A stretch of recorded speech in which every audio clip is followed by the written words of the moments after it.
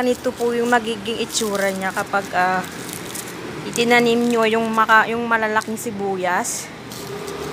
Magiging ganyan na lang ang laman niya.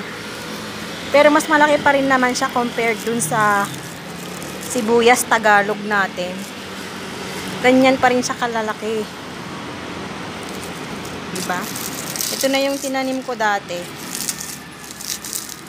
Dati bilog dyan na malaki eh. So, dati ang kinukuha ko lang yung dahon.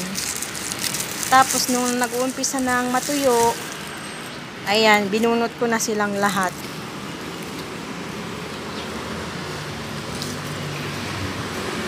So, ito na siya ngayon. Malalaki pa rin naman. Pwede pa yung... Oo, malalaki pa rin siya. Pinapatuyo ko lang.